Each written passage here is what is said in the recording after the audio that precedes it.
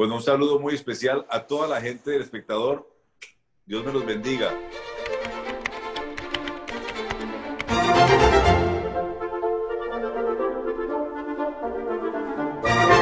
Bueno, Pedro es un personaje que yo recuerdo con mucho cariño. Gracias a Pedro, eh, pues llegué aquí a Telemundo. Gracias a Pedro hice una carrera en Estados Unidos, que todavía la estoy haciendo.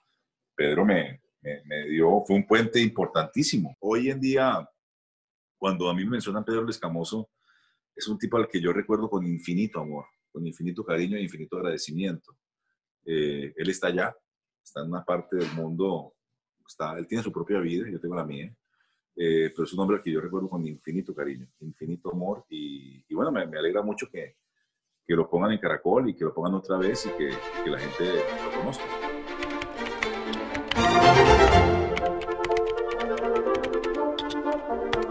Me enseñó humildad, me enseñó cuidado con la gente, me enseñó muchas cosas. Pedro y mi mujer fueron, fueron un antes y un después para mí muy importante en mi vida, en mi carrera, en mi forma de ser.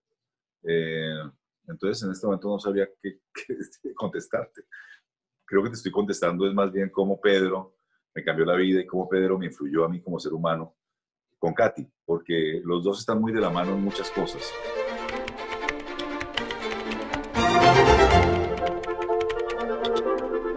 Antes de entrar a Pedro, yo estaba haciendo La Caponera, una novela que hicimos con Margarita Rosa de Francisco en RTI, una novela muy bonita, una novela muy linda, eh, con, con Margie, eh, que protagonizamos los dos. Eh, también había dirigido Carolina Barrantes, una novela que hicimos con Fernando Gaitán, en paz descanse, con El Ferchito.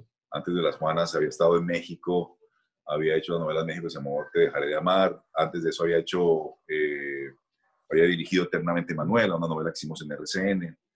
Antes de Eternamente Manuela habíamos hecho La Momposina, una serie que hice con Bernardo Romero Pereiro en Monpós.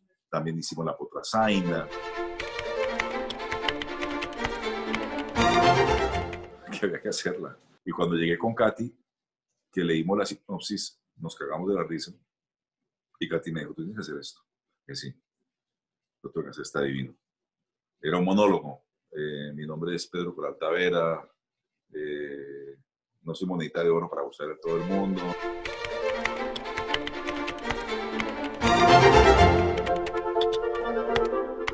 Sé hoy que, que, le está yendo muy bien a las historias antiguas en Colombia, a las historias de antes en Colombia. Eh, no creo que tenga que ver con la calidad, creo que tiene que ver con las historias, con la simpleza de las historias.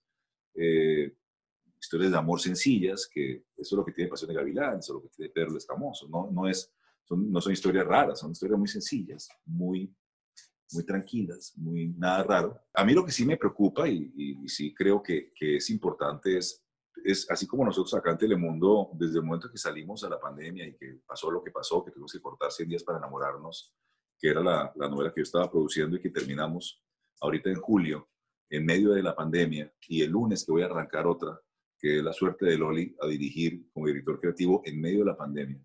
Yo lo que creo es que en Colombia deberían, deberían volver a producir. Yo sí necesito que en Colombia, yo, yo quiero mucho en Colombia, yo adoro mi país.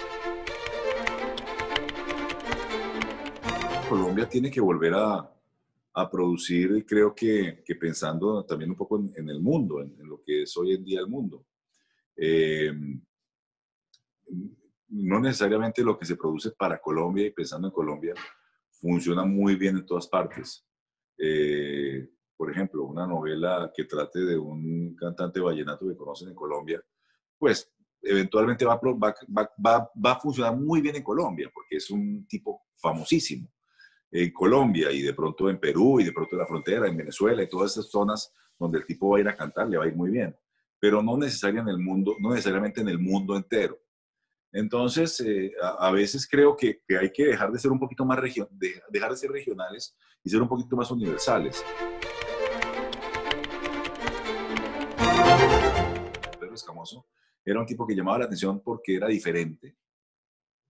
Era un tipo como raro, se peinaba raro, tenía el pelo raro, eh, las botas, el caminado, pero era un tipo al que se le entendía. Eh, Pedro el Escamoso nunca, a pesar de que la gente preguntaba, ¿y qué es Mompirri? ¿O qué es Máximo, papá? ¿Qué es esto? Se les entendía. A los actores, a nosotros se nos entendía todo lo que decíamos. No hablábamos raro, hablábamos bien. No hablábamos gumelo así, hablábamos bien. Entonces, la gente nos, nos veía, la gente entendía lo que decíamos, porque acuérdense que la televisión a veces se escucha más de lo que se ve. La gente escucha más televisión de la que se ve. Y en Pedro el Escamoso la gente entendía lo que nosotros decíamos. La otra vez, una vez pasaron una serie, no me acuerdo qué fue, una serie aquí en, Telemundo, una serie eh, que le fue muy bien en Colombia, pero aquí no funcionó porque hablaba muy gomelo, hablaba muy, cuando yo la vi, decía, no, está difícil, porque la gente no las entendía, era, no, yo, yo pienso que nosotros lo que tenemos que hacer es esto y aquello. A ver, no, marique, o sea, no, o sea. Entonces, claro, cuando yo vi la serie, esto no creo que iba a funcionar. No porque sean bonitos o feos, sino porque no se entiende, porque la gente no, no entiende lo que dicen. Entonces, se casan y cambian el canal, es como otro idioma.